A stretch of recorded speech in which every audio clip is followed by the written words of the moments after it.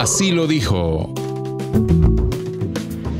Estamos muy orgullosos de lo que está ocurriendo porque se está escuchando el empresariado, se están escuchando las ideas y se están dando soluciones a mediano y corto plazo, qué es lo que se quiere para que nuestra economía se estimule y crezca. Así lo dijo.